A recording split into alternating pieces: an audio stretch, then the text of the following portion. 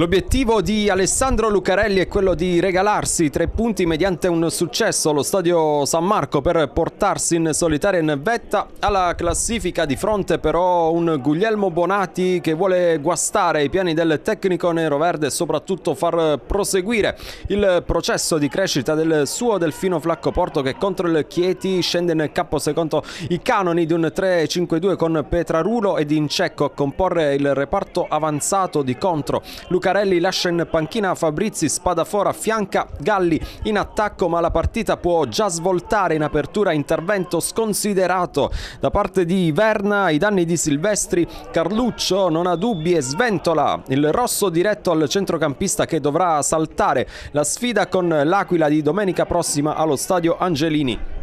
E allora prova subito ad approfittare della superiorità numerica il Delfino Flaccoporto che si rende pericoloso dalle parti di Matteo Forte sul versante opposto. Nicolò Corticchi a creare maggiore scompiglio nella difesa pescarese con questo calcio di punizione. Quindi l'episodio in area di rigore per Francesco D'Incecco va giù il Delfino reclama un possibile calcio di rigore. Non ci sono però gli estremi per il tiro dagli 11 metri. Secondo il direttore di gara Aquilano Milano, ma resta più di un dubbio nel frangente Carluccio in confusione perché espelle per doppia ammonizione Silvestri, poi viene richiamato dall'assistente torna sui suoi passi. Non era lui l'autore del fallo, bensì Blasioli, quindi niente rosso per il capitano, la battuta del calcio di punizione spada fora. Prima del duplice fischio parte meglio la squadra di Bonati nella ripresa, il mancino di Marzucco sul fondo, quindi la chance mastodontica, super intervento intervento su Dincecco da parte di Forti a porta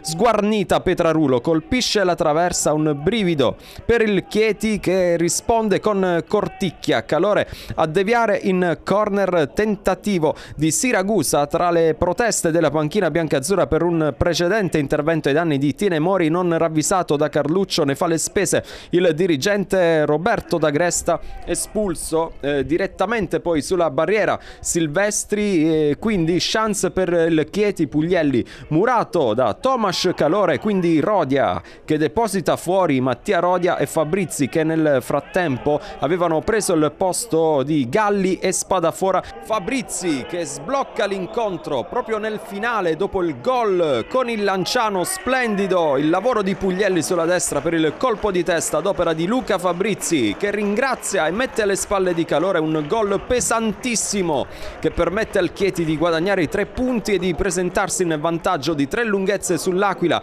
all'Angelini domenica prossima. Esultano i neroverdi al centro del campo rammaricato. Guglielmo Bonati, la sua squadra, ha disputato ad ogni modo una buona partita, ma allo stadio San Marco passa il Chieti a punteggio pieno. Il risultato finale Delfino Flacco Porto 0, Chieti 1 per Alessandro Lucarelli, un altro mattoncino verso la D.